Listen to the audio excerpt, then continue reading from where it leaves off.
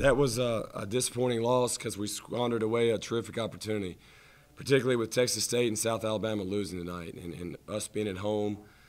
Uh, it's a game we needed to get, and, and I was just I was I was puzzled at how we came out uh, to start the game.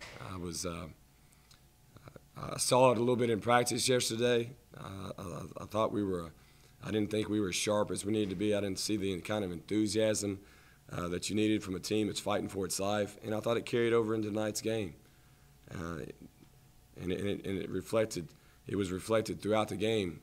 I mean, we did. We had back-to-back turnovers after we had cut the lead to three, and just you know playing too fast and, and just trying to trying to make something happen. We were we had to go to a small lineup because they had gone to a small lineup, and and in the past we we faced that a lot lately, and in the past we've stayed big and, and teams have outquicked us. So tonight we said we're going to go. If they go small, we're going to go small, and we did that.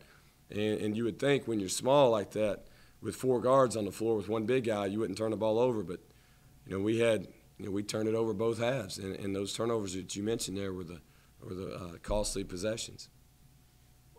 Tevin was good tonight. He was good. He was uh, he was. I thought he was probably the only player who, from start to finish, was uh, start to finish was pretty consistent on both ends of the floor. And then when he fouled out, I thought he fouled out, on a couple of really uh, touch fouls. I might I might add, but uh, but when he went out, that took away the, the one guy who was scoring around the basket for us.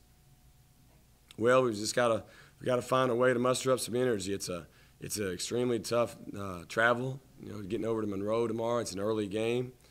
Uh, they're going to have some confidence coming off a win and, and, sort of separating themselves from the pack. So we'll just see. You know, we've got six seniors in that locker room that, you know, this, this is this is it for them. If they want to go to New Orleans, you know, we've got to find a way to muster up enough energy to go down there, fight and claw, and try to get a road win.